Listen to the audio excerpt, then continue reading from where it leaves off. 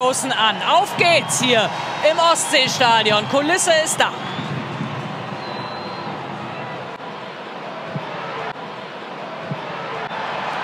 Bühl. Clara Bühl.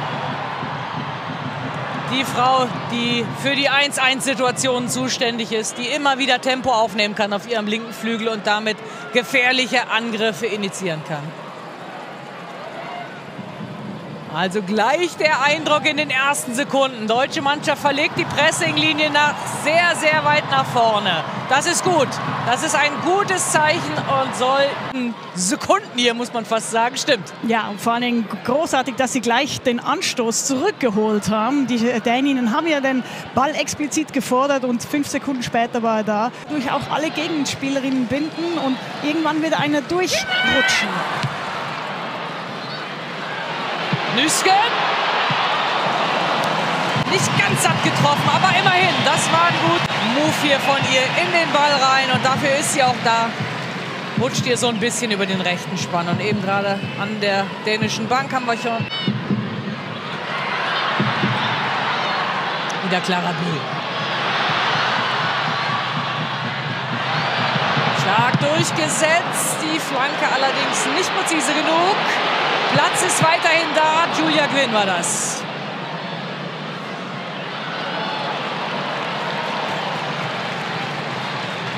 Hegering.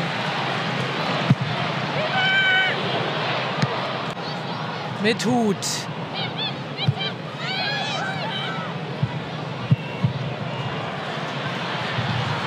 Und Linda, gute Verlagerung. Spiel breit machen, Lücken reißen. Das ist die Aufgabe. Linda. Funktioniert bislang prima das Zusammenspiel mit Bühl dort links.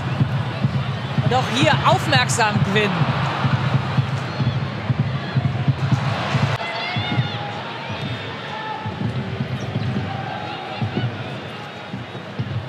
Jetzt das Zupacken im zentralen Mittelfeld. Stark gemacht von Sjoko Nüsken. Bühl die erarbeitet sich immer wieder den entsprechenden Raum auf ihrer linken Außenbahn. Linda sucht Pop, findet aber Lohmann. Das sind gute Bälle, dass man nicht immer alles direkt zwischen Elfmeterpunkt und Fünfer reinbringt, sondern eben auch starken Link noch bei all diesen Dingen. Denn natürlich hat sich auch das Trainerteam in ihren Entscheidungen etwas gedacht und äh, da darf sich jeder seine eigene Meinung machen. Fakt ist, dass der Deutsche Fußballbund ja mittlerweile so weit gehandelt hat. Äh, Sportdirektorin Mia Künzer ist fix, wird in den nächsten Tagen vermutlich äh, öffentlich bekannt gegeben. Da gibt es noch ein paar Formalien zu klären. Da weiß man, was auf einen zukommt. Vor allem eine Mia Künzer, die ja doch auch viel Ahnung vom Fußball drumherum hat. Und dementsprechend wird das sicher eine schwierige Aufgabe, aber eine lösbare. Wieder der Ball gewinnt. Lohmann kann sie daraus noch was schaffeln. Wieder was gegen den Ball arbeiten hier. Und das ist die Gefahr, die ich beschrieben habe. Wenn es dann mal nicht klappt, ist der Raum im Rücken frei. Aber dann müssen eben die anderen aushelfen. Und das klappt bis hierhin ganz gut. Ich schütteln können in der Halbzeit. Also jetzt vielleicht noch mal den ein oder anderen Nadelstich setzen.